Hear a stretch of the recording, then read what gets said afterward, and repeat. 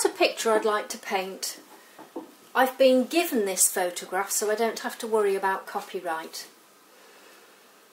It's a very good composition as it is.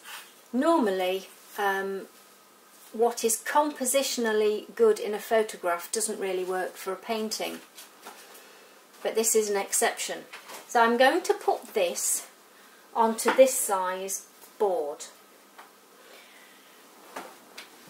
This is called the rule of thirds. I've divided my board into thirds just to show you. And where it, it's like noughts and crosses. And where the points cross, on one of those points you should put your, your focal point. point and as you can see on this photograph the lion's face is perfectly placed so that's where I'm going to put it.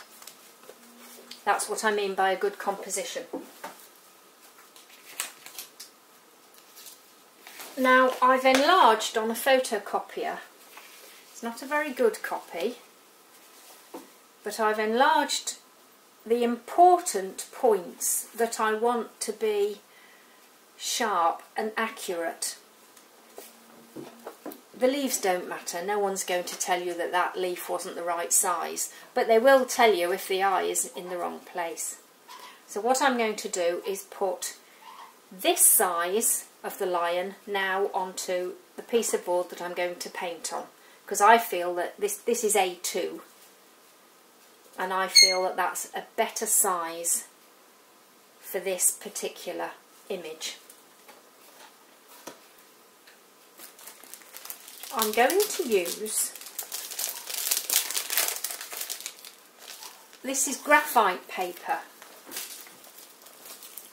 You could sketch it on straight onto your board but that's not usually very accurate. So what I'm going to do I put is put the important images straight onto the board with this piece of graphite paper.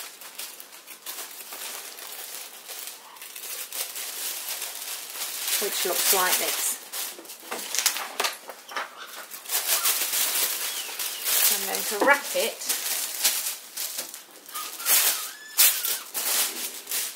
onto my board. But now, when I press it, when I press hard enough, the image will go through and I can see where those points cross, it's right there. So that is where I'm going to put my lion's head, which is there. That's a good place. And with a fairly sharp point, I'm just going to press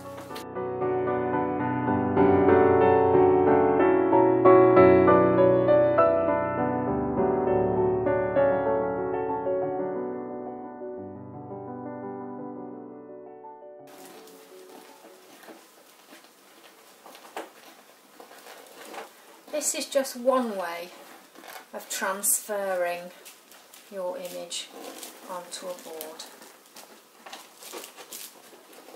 And that's his leg just there.